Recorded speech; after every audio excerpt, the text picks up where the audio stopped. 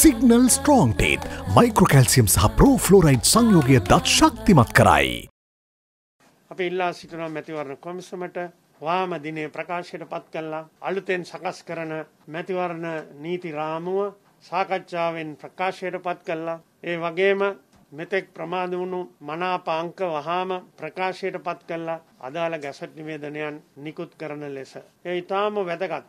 මනාප අංක නිකුත් කිරීම සිදුවිය යුතුයි. නාම යෝජනා බාර ගැනීමෙන් පසු. අපේක්ෂකයන්ට අයිතියක් තියෙනවා මනාප අංක දැන ගැනීමට. මේක කිසිසේත් සම්බන්ධ වෙලා නෑ මැතිවරණයේ දිනය සමඟ. මැයි පස්වන දාවන විට රාජ්‍ය මුද්‍රණාලයේ අධිපතිනිය සූදානම් කියලා ප්‍රකාශ කළා. එන මාසකටත් ඉස්සෙල්ලා.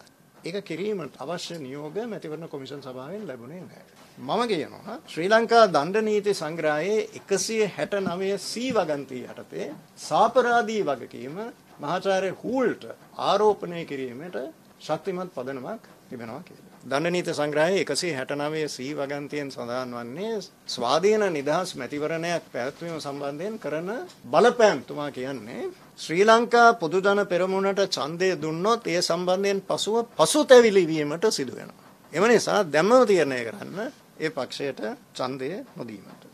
මැතිවරණ කොමිසම විසින් රජයේ මුද්‍රණාධිපතිට මැතිවරණයට අවශ්‍ය ලිපි ලේඛන මුද්‍රණය කරන්න කියලා ලිඛිතව දැනුම් දෙනවා. හැබැයි ඊට පස්සේ මැතිවරණ කොමිසමෙන් වාචික උපදෙස් ලැබෙනවලු මේක හිමීට කරගෙන යන්න කියලා. මේ චෝදනාව නගන්නේ අපි නෙවෙයි මුද්‍රණාලයේ ක්‍රියාත්මක වෙන ශ්‍රී ලංකා පොදු ජන පෙරමුණේ වෘත්තීය සමිතිය. ඒ නිසා අද මේ මුද්‍රණ කටයුතු ඊටාම මන්දගාමීව මුද්‍රණාලය දෙපාර්තමේන්තුවේ සිදු වෙනවාය කියලා ශ්‍රී ලංකා පොදු ජන පෙරමුණේ වෘත්තීය සමිතිය චෝදනාවක් එල්ල කරනවා මැතිවරණ කොමිසමට. මාර්තු මාසේ දෙවින්ද තමයි ජනාධිපතිතුමා ගැසට් නිවේදනයකින් මේ ඡන්ද ප්‍රකාශයට පත් කරේ. දැන් මාස 3කට වැඩි කාලයක් මැතිවරණ කොමිසම නිදාගෙන ඉඳලා හදිසියෙන් නැගිටලා ඒ කියන ඉක්මනේ මැතිවරණ තියන්න බෑ කියන කතාව අපි පිළිගන්න බෑ. මාස 3ක් වුන්ට තිබුණ ඡන්ද පිටි සකස් කරගන්න. ගෝඨාභය ජනාධිපතිතුමා ජනාධිපති ධූරයට පත් උනේ මාස 60කට. එයින් මාස 6ක් නැත්තම් 110ක් දැන් ගත වෙලා ඉවරයි.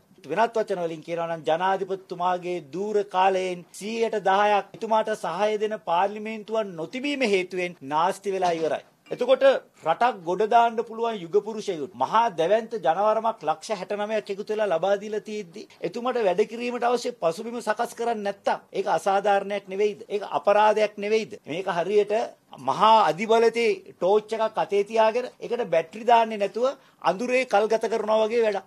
ලීව ආයුෂ් කොහොම්බ ෂැම්පෝ දිගු ගණති වරලසකට